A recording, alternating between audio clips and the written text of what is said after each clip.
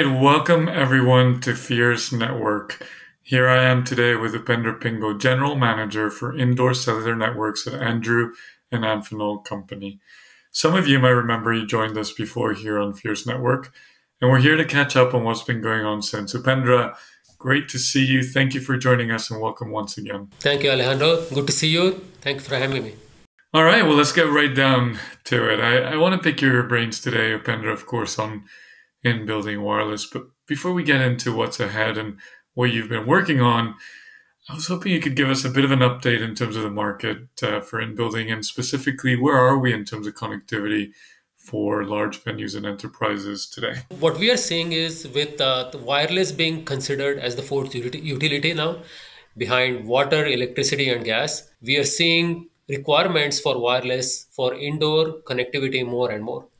And when I think about that, I'm seeing that for both venues and buildings, and for both people as well as things. Secondly, when we look at large public venues, right? I mean, when we think about stadiums and airports and train stations, these guys may be requiring uh, the cellular connectivity for fan experience, uh, for large crowd getting there for a game or so and so forth.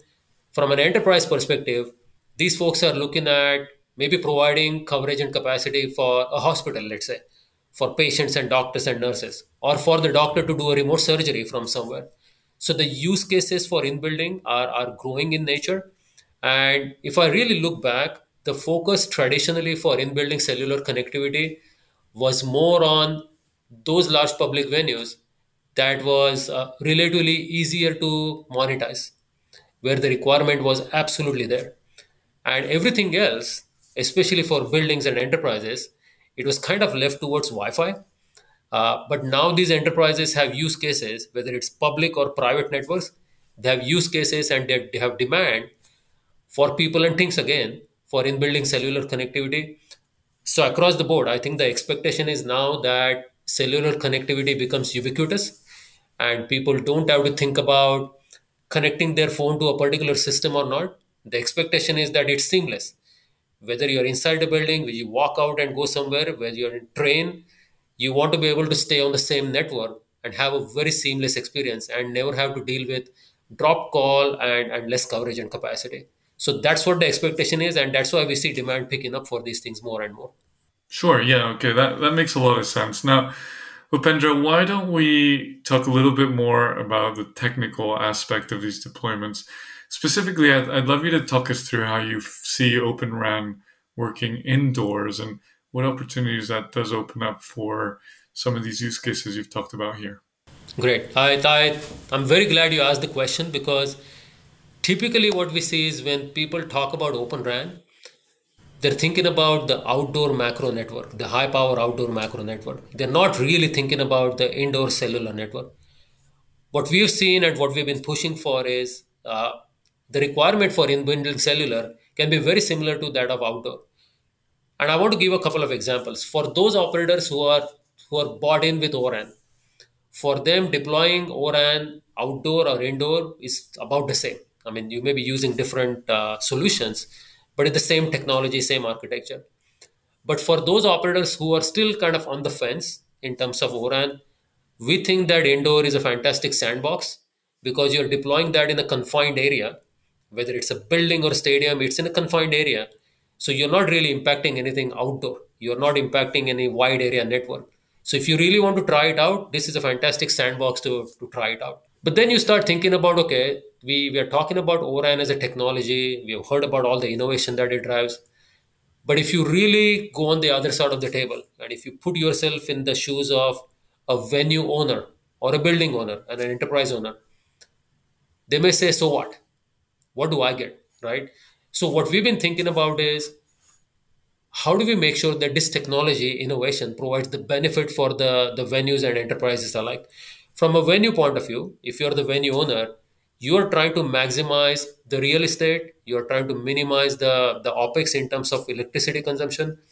So when you when you maximize the real estate if you save some space that you don't have to put all this uh, equipment in you can use that space to put concession stands and monetize that space. If you think from a massive power consumption that typically happens with these traditional systems, if you can save on that, now you can basically drive for sustainability, right? So those are the things that a venue will think about. If you put yourself in the shoes of an enterprise, uh, the space and electricity consumption may not be a big deal because you're putting it in a very small building. Let's say, let's say, a hundred thousand square foot building.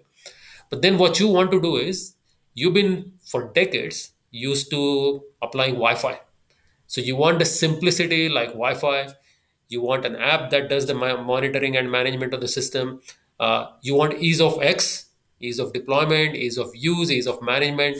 So those are the things that you are used to from an enterprise owner point of view. So with ORAN, we are able to virtualize the equipment.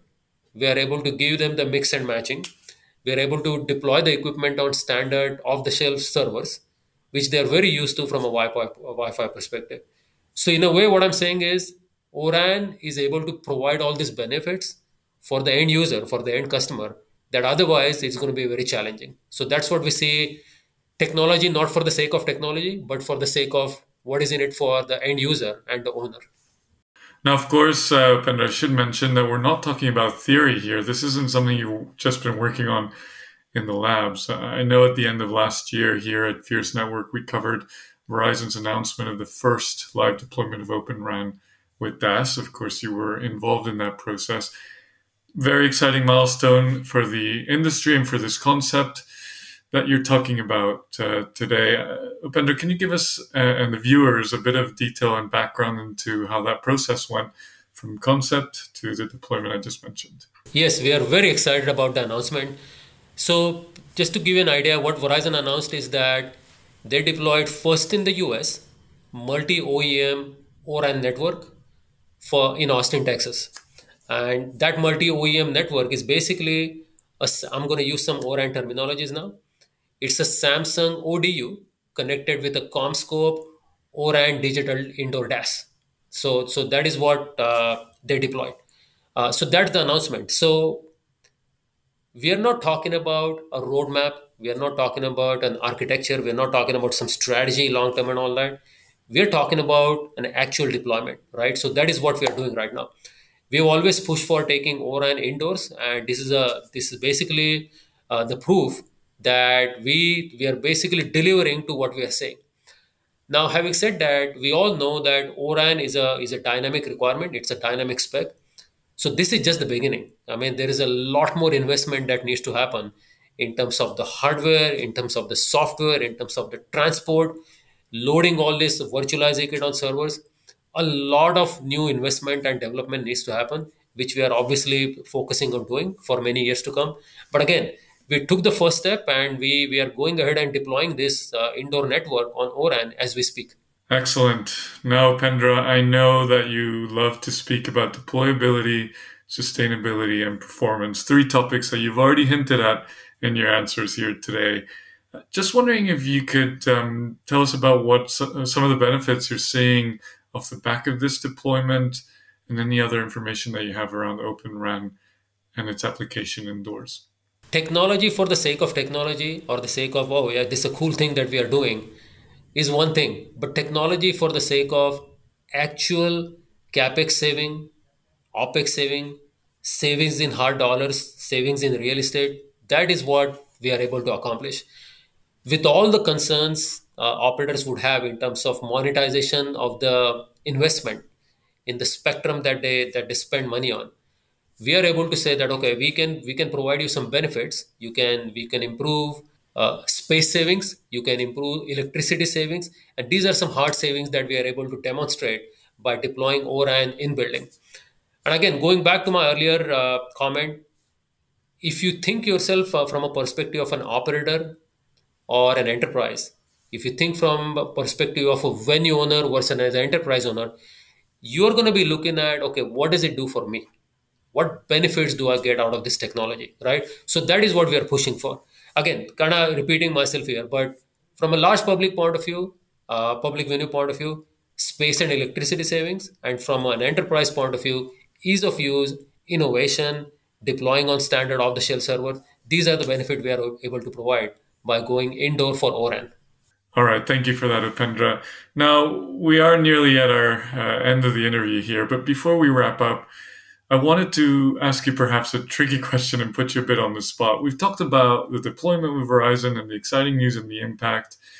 But let's face it, we've been talking about in building and DAS and its impact for a long time. What are you thinking about beyond this milestone that's very exciting, in my opinion, shifts the discussion in terms of the future of DAS small cells and, and that convergence of Open RAN? What are you working on and, and what can you share with us? To give our view in terms of the future, let me go back up in past a little bit, and then we, I can I can see what we think is going to happen in future. Right back in the day, few decades back, um, if if you want to cover a large public venues, the solution was a big bulky analog DAS. And then if you want to cover some the small buildings, then the solution was a single operator or a multi-operator multi-operator indoor small cell, right? But then if you look at over the last decade plus, what we have done here is we have, we have built an architecture that's on the digital platform. You can call it for DAS for large public venues or for uh, small cell for uh, enterprises. For both, we have actually built a digital architecture. And then the next step we are taking now is taking that digital architecture and putting it on the open architecture, right?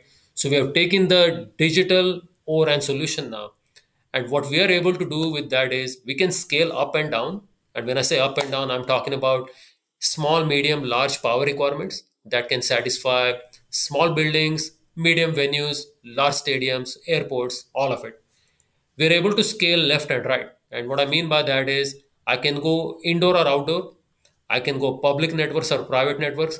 So essentially, this architecture, the systems that uh, we have designed, is able to cater to all the requirements of a typical in-building architecture we have seen this convergence. I mean, we talk about DAS and small cells separately in past.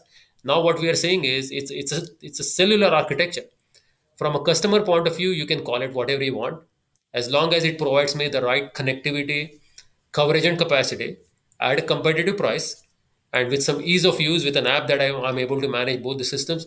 That is what I want as a consumer, as a as a owner of the venue and and uh, uh, enterprise.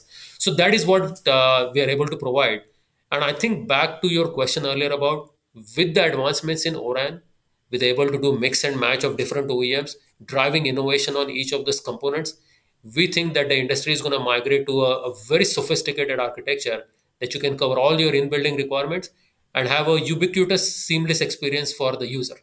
And that user again can be a person or it can be a thing. It can be a robot. But again, a ubiquitous, seamless experience is what we are providing now. Awesome. Well, Upendra, we'll have to bring you back here to tell us all about these exciting developments because it feels and there certainly looks like there's a lot going on and some exciting use cases for us to discuss and, and to come in this space.